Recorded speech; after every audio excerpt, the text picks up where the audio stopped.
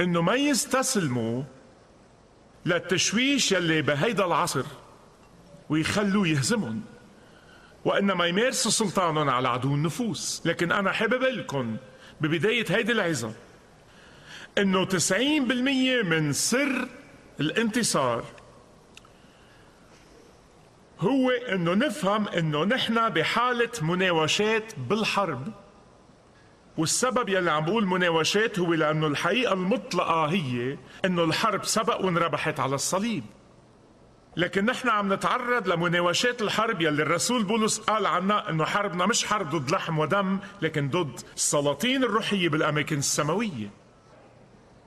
واليوم هيدي هي أهم نقطة بقدر لكم إياها وهي إنه تتذكروا إنه نحن رح نتعرض باستمرار للمناوشات والحرب وإنه نحن ما وقعنا معاهدة سلام مع عدو نفوسنا وإنه مش ممكن نتقاعس عن تأهبنا ولما تفهموا هالشيء بتكونوا اجتزتوا 90% من الطريق.